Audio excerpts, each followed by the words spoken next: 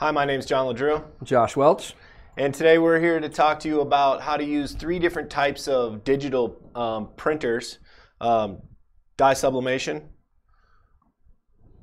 Uh, Epson, di- uh, direct to garment printing. the F2100, Yep.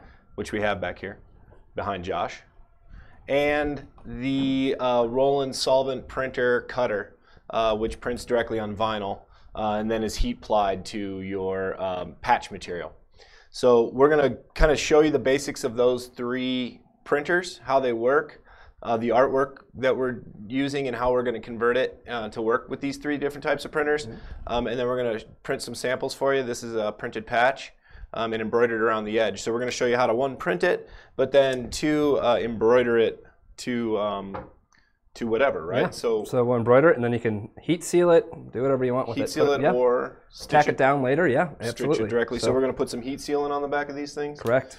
Cool. So it's pretty easy, um, pretty straightforward. Um, but I want to show you how the the printers work, and we're going to actually print for you on the 2100. But we're going to show you videos of printing um, on the um, solvent printer and on the dye sub printer because we can't really fit them all in this room. Um, No. I also like to mention that we have uh, Nate here behind the scenes. Hey guys. He's our uh, he's our uh, technical So Guru. that's a Video know. DJ. video DJ, Wow. and he's doing a good job. I mean, look, it we're up and running, and we're all smiling. Then we have Scott Stengel back there. He's going to answer questions if y'all have, have any. So throw them at us for sure. Um, first things first, let's take a look at our artwork. So we have a pretty simple concept here.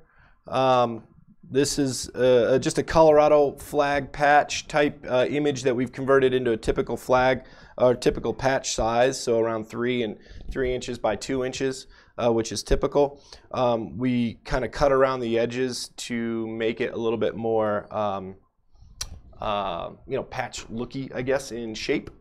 Um, from here, I have it basically set the way I want, and, and in Photoshop, um, I can I can take this and I can use it on a few different applications. I can use it um, for the direct-to-garment printer by saving it as a PNG. I can also use it on the uh, dye sub printer by saying it saving it as a PDF, and I have both those files saved. Um, so what I want to do is show you um, real quickly in Illustrator uh, what it looks like and what we would need to do for uh, printing on solvent print cut. I also want to mention, if you, if you guys haven't noticed how quick in, uh, Nate is by converting over from me talking to me showing the screen, and I think we all des- deserves a round of applause for that. He's a pro. All righty, Hoodles. Uh, here is what we have a called a cut line. This cut line is basically a 0.25 inches. It's uh, labeled as a uh, cut contour line. You can see it barely in this on the screen there, but it says cut contour, capital C, capital C, um, and that's what we need for the Roland printer cutter to be able to recognize where it needs to cut. So basically, we created this line um, and created a stroke. You can label color it any color you want, as long as the the um, uh, the color is a um, labeled cut contour. And then from here, all these other elements, it may print them out, um, but it's going to cut where it should cut. And I can show you that here. So this is printed on the solvent printer on a piece of uh, tech on a, uh piece of heat transfer material. And um, I'll just show you quickly. This isn't exactly how we're supposed to do this, but I just want you to see that the the the whole image printed as a rectangle. You can kind of see the little elements in there, but the the angled portions where we wanted it to cut um, are visible, and that's visible here. And we'll show you more on that in a minute.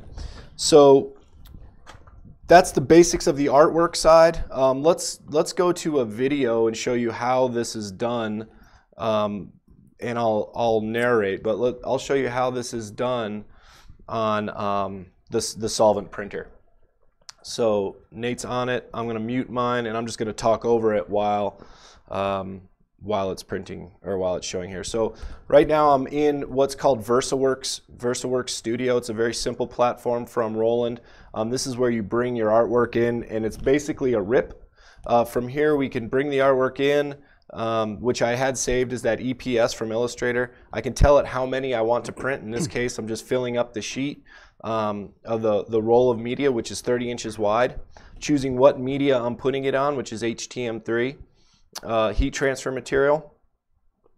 Now it's just going to take a minute to spool and calculate what it needs to do to be able to print that um, on the right material. Um, it only takes a minute. This is really, really versatile um, material. It once it's printed on this vinyl, it's essentially it's on there for good. Um, you've probably seen us talk about some of this stuff in the past, um, but what we really like about it is how quick, how quick one, how quick it prints, but two, how easy it is to uh, take this and transfer it to almost anything that you can lay flat and put on a heat press. So from here, um, it's gonna it's gonna continue to print. Then in a few seconds here, it's gonna cut, and I'm just gonna jump forward a little bit just to save a little bit of time so you can watch it cut. So now it's taking and it's cutting that one path exactly where it should be in that art. All right. So, and then from there, we're left with our media, printed on, cut out. From here, I'm going to simply, I'm just going to do one for, for ease of use.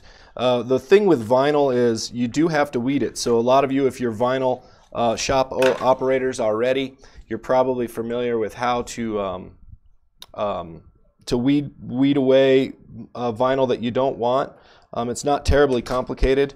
Uh, the more complicated the design, the more complicated the weeding can be. But it's pretty simple. We weed away what we don't want, right? Right. Yeah. Text and stuff gets a little bit more hairy. Text can be yeah. hairy, yeah. And you've been there, haven't you, Josh? Yep. Um, and then we have to add what we call this comes in a roll. This is basically transfer paper. It's called transfer mask. Um, it's specifically for this type of uh, heat, uh, heat transfer vinyl material because it doesn't stick to the material that you put it on. So if we're putting this on a jacket or on something else, um, it won't it won't um, it won't stick to that material. So I've done I'm finished with base, the basic application. I peel away the backing now I'm left with the, the transfer on the mask. Yep. And then from here, I can put it on my material. So I'm going to show you quickly on the heat press how that's done. Um, this is really forgiving.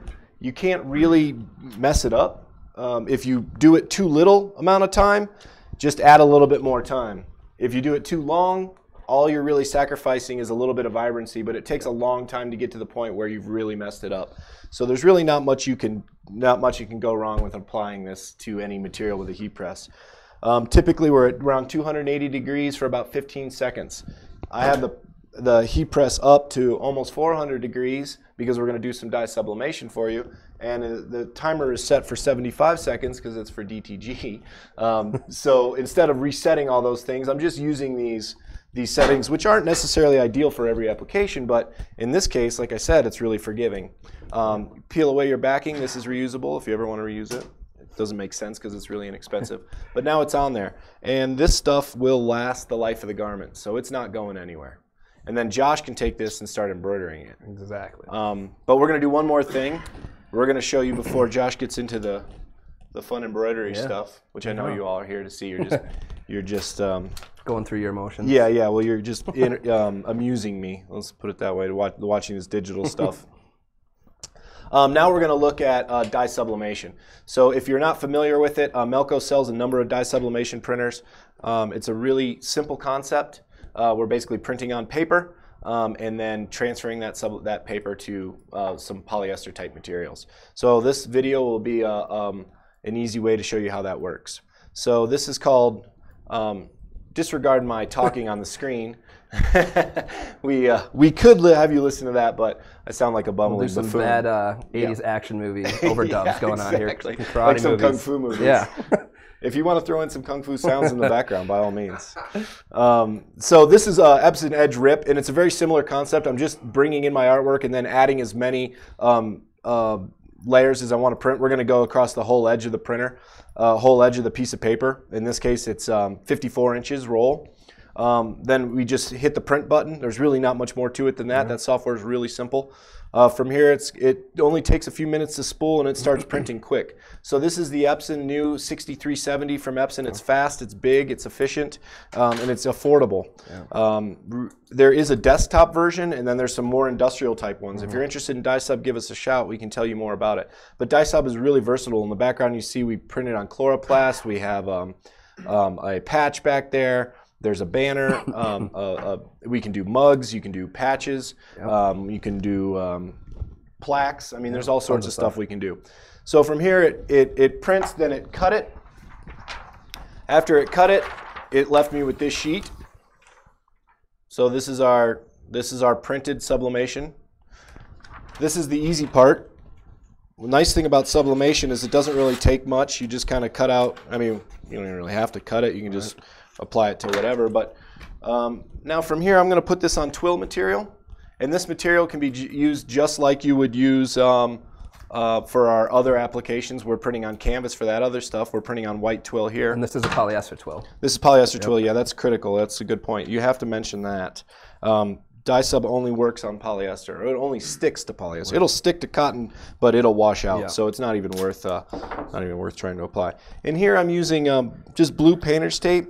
We talked about this last time. Josh, tell us about the tape. Yeah, the painter's tape. It'll hold up in the heat. It won't uh, leave any sticky residue or anything. Um, we still haven't ordered in any other tape, so Yeah, and there are there is other tape. yeah. though, There's right? a the heat transfer tape um, that you can get. It's usually like green or orange. It usually comes and clear. and it just the whole point is it doesn't leave residue on your material. So um, I'm just going to hold this while I heat press this. So the key with the key with um, heat pressing or the key with dye sublimation is your your dye sublimation printer is going to typically do a good job. Epson's uh, printer is outstanding for a number of reasons, but the key to dye sublimation is you need consistent heat and consistent pressure. Yeah. So the heat press is critical. If you have a poor quality heat press, you'll likely not have a good sublimation technique. So we recommend Hotronix. Really, Insta is outstanding for uh, dye sublimation because you can put a ton of pressure down. Hotronix, after a little while, the pressure uh, it'll automatically pop up. So we really need about 40 seconds or so. I probably overdid it because I was just yapping away. Uh, but then once we remove our sublimated paper, um, we have a perfect, bright, vibrant piece of sublimation. Um, uh, sublimated on twine on twill. Looks really good. Looks great. Yeah, super vibrant and bright. So the last piece of the digital side, and the piece that we wheeled a machine in to show you how it's done, is the um, the Epson F2100 direct to garment printer. So this thing is really versatile. I wanted to show you on the 2100 um, how it works really beyond just doing t-shirts because people buy this thing primarily for t-shirts, but there's a lot more to it than that. So that's why we have it here. I'm going to switch spots with, with Josh here. Let's transfer. Um, I'm going to show you the printer, and then I'm going to go back over to the uh, uh, the printer or the computer and show you um, how that software works. So we have a 10 by 12 tuck lock platen here. Uh, tuck lock platens, the, they're different than the Epson OEM platens for a number of reasons, but the nice thing about these platens is you can slide material in between these pieces of foam, um, and that really helps hold it down. Which is especially good with like canvas and stuff like that. especially good for canvas because if this is wrinkled or if it's not sitting properly flat on the on the platen and there's nothing to hold it in place Yep. um, that can throw off the sensor. Um, we always use a, we can we can always use tape. Tape works really well um, but what we need to do is tuck this thing in and make sure it's nice and flat and as you can see with the tuck lock platen we can get that so you can order these platens if you have an F uh, 2100 direct to garment printer or an F2000 even you can order these platens from us on shopmelco.com um, they're outstanding. We sell a ton of them. They're one of the best platen manufacturers in the industry for uh, for um, direct to garment printing. So here's my piece of twill, or this is canvas. I just put it on here on my 10 by 12 platen. Now I'm going to show you on my computer um, how we set this up in Garment Creator. And try not to look at that um, any longer than we have to. All right. okay, so in Garment Creator, I'm going to actually close this out and start from the beginning for you. Um, and I am plugged in, so we're good. Okay, so in Garment Creator, disregard the messy desktop too, please. Don't judge me. uh, we have a tendency to judge people's messy desktops. Uh, okay, so um, here's Garment Creator. Real simple program. If you already have it, you know how easy it is. If you don't, watch me and you'll see how easy it is. Um, I'm going. I'm switching platens from my standard 14 by 16 to the 10 by 12, um, just because I have a small piece of twill and I have a small piece or a small piece of canvas. Um, from here, I'm going to print, I'm going to bring in my Colorado flag for DTG image. This was done again in Photoshop, just saved um, as a transparent background PNG. I drag it in and it's that simple. If I want to add more, I can do that.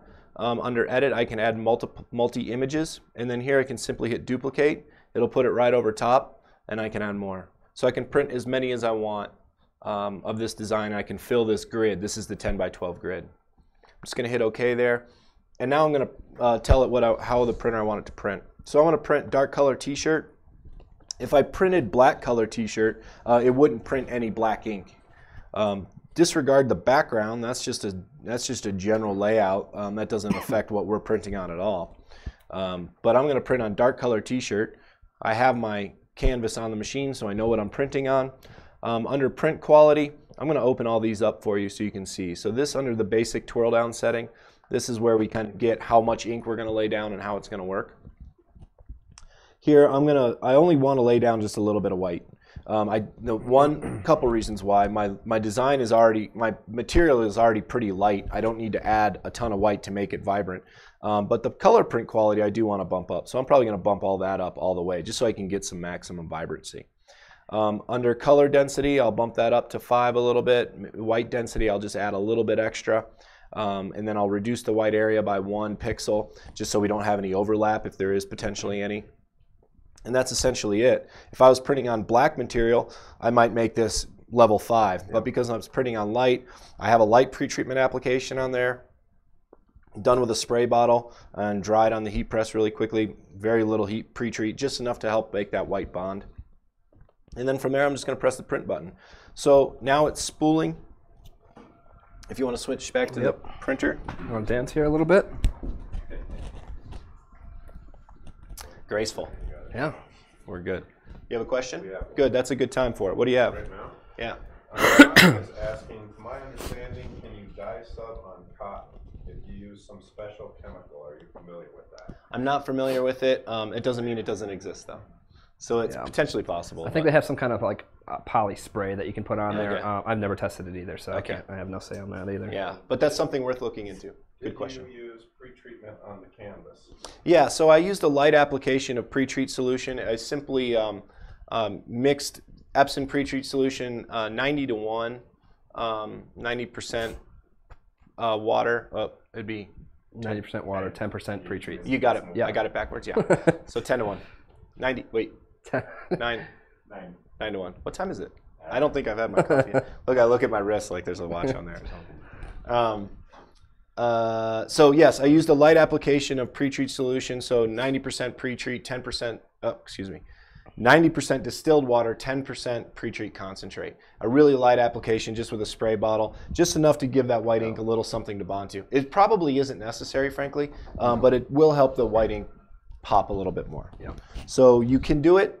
Um, if you're doing light uh, garments, use just reduce your concentrate of pre-treat. That should answer that. Okay. So now I'm going to print this. Um, it's only going to take a few seconds. I could have talked while uh, it was printing. Uh, but again, we're laying down a little bit of white ink.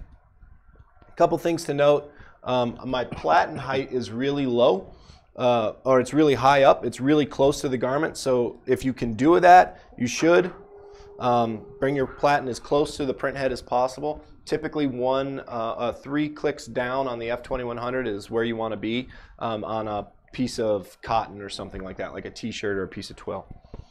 Um, I love this machine. It's super, super uh, um, flexible on what you can do with it, and uh, the exciting thing is we're doing not only doing these patches, but we can do socks and we can do hats and we can do uh, pant legs and jackets and pieces of leather, um, all sorts of stuff. So as far as quality and vibrancy and um, consistency, um, we get really the same, a really good quality stuff here, just like we're getting on anything else that we're doing and the dye sublimation too. So um, works great. So yeah, it, it, just just understanding how flexible all these pieces of equipment are is really the point behind all this.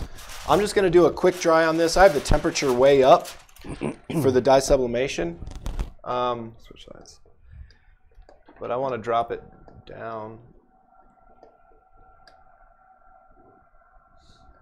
And I'm just going to do a quick a quick dry on it. Um, typically, we don't want to overcook it. Uh, the idea is the hotter it is, the more pressure and heat that you put on it, the more color loss you're going to have. So um, ideally, you would do it around 375 degrees for about 75 seconds with a fine layer of white ink. But I'm just doing a quick dry just so it doesn't get it, just smudge on Josh's hands.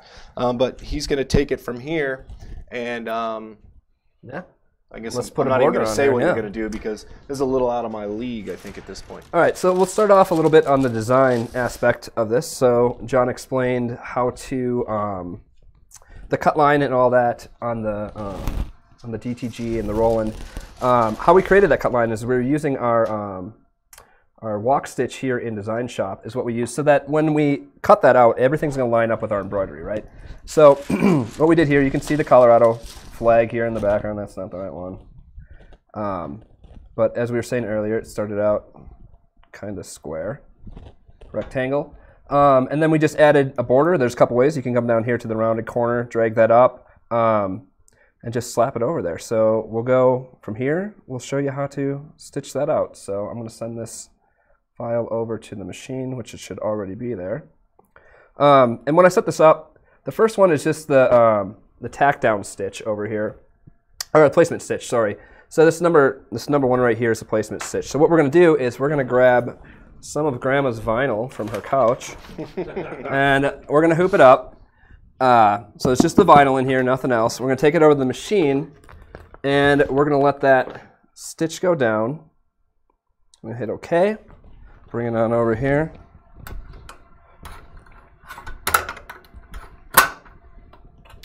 Make sure I have it centered. We're just going to let that run.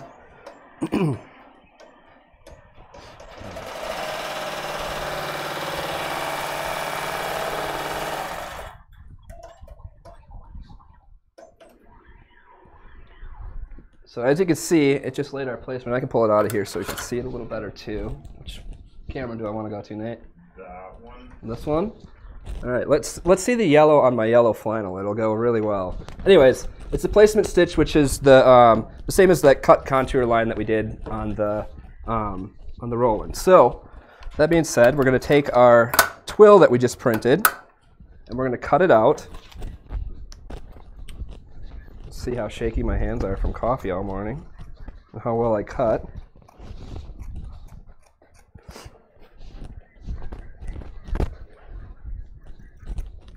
Now you could probably set this up if you're running big production of this to have registration marks and cut it out on a plotter, but for this sake we're just doing the one patch.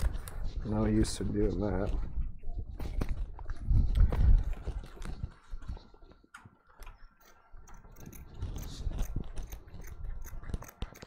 My cuts aren't very great.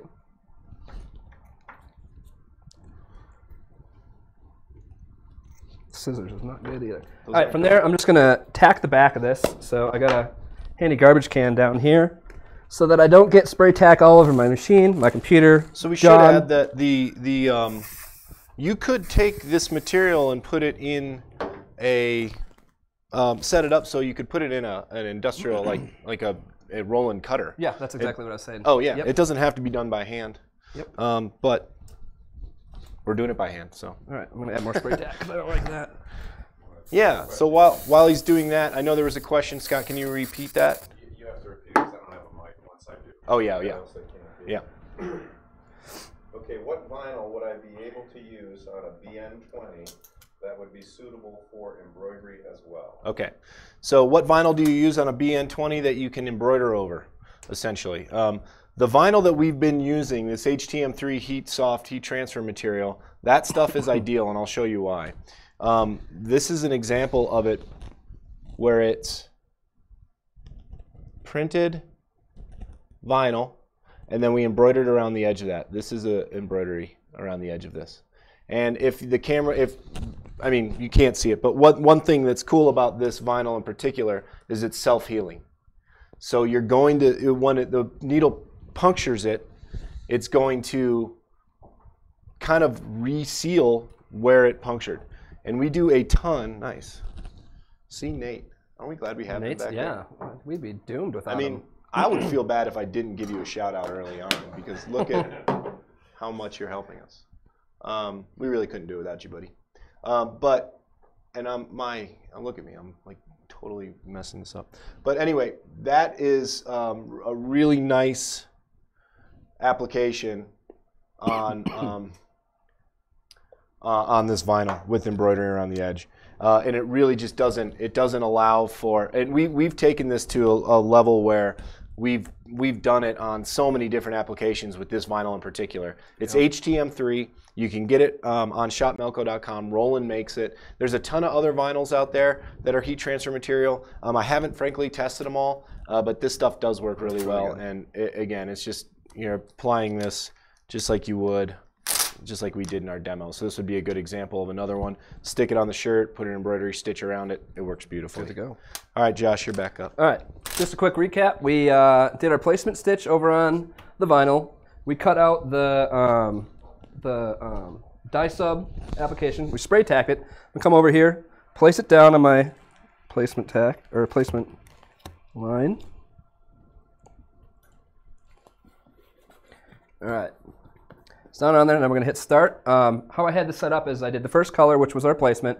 I had an applique hold, so it brought the uh, the pantograph out. I sucked down the, the patch that we created, cut out, I hit start again, and it's gonna tack it, and then it's gonna do the nice satin border around there.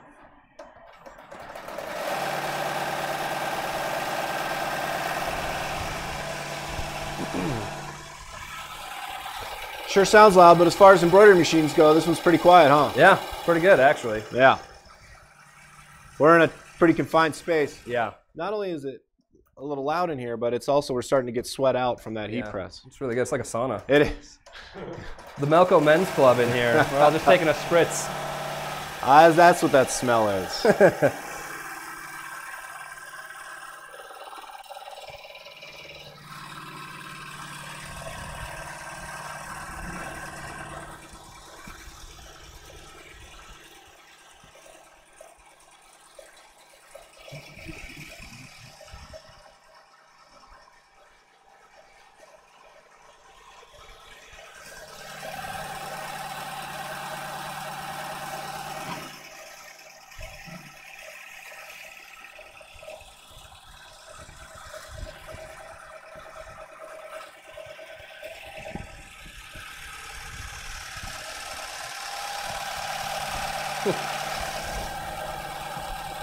that was intentional.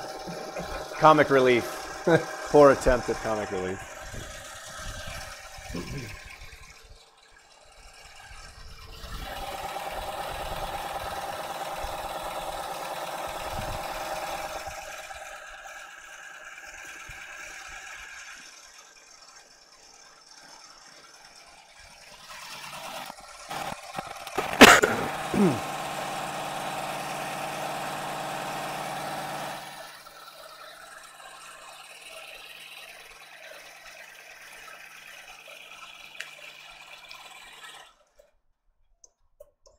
It's like real production in here. Yeah, know? it Loop the next one up and wait. It's making me sleepy. All right.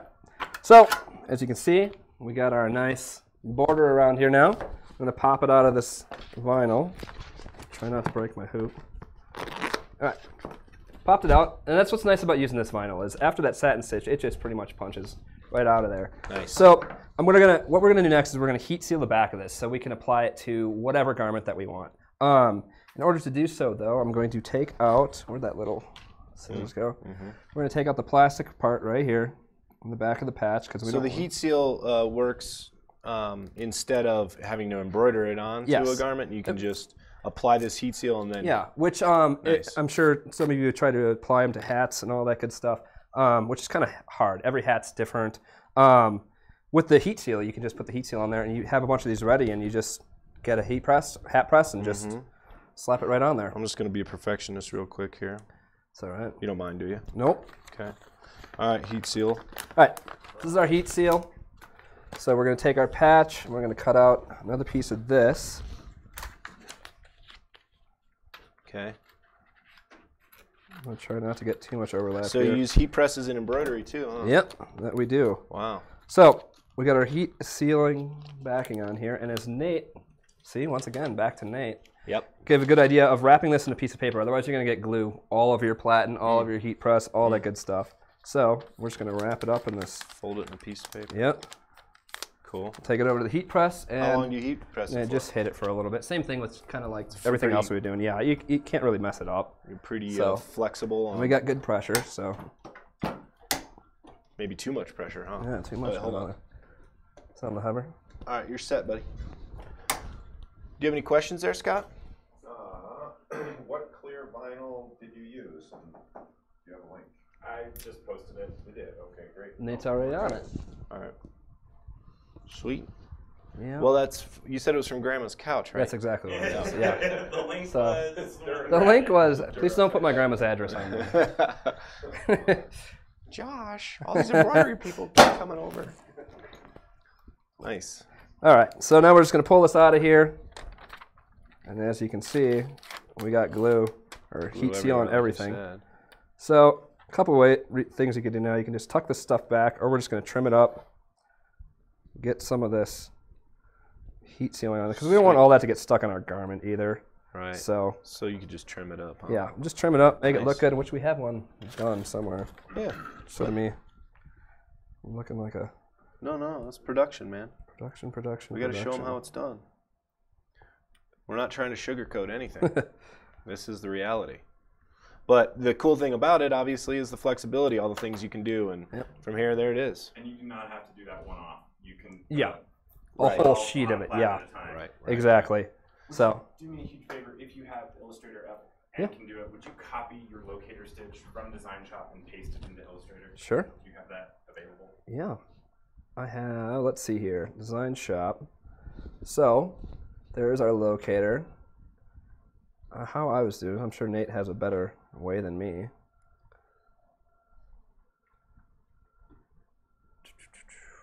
Actually, I think I already have it up in Illustrator, but file, and then I was saving mine as an EPS. You got a better way to do that? Yeah, that? no, Nate? just copy it. Just copy? Just Oh, yeah, copy and control paste. C and then Control V in, in Illustrator. But I'm not so you have to say that. All right. So all I did was in the DesignShop. Here's my locator stitch. I pulled it into a new um, screen so you guys can just see that. Um, I just Control C, and I copied that. And now I'm going into Illustrator, and as you can see, I already have. Um, we'll go from scratch here. We'll get this out of here. But I already have the the Colorado in there, the flag. And if we can Control V, just brought our locator stitch back in. And now when we save that out, if we get it lined back up on there, that's all jumbled.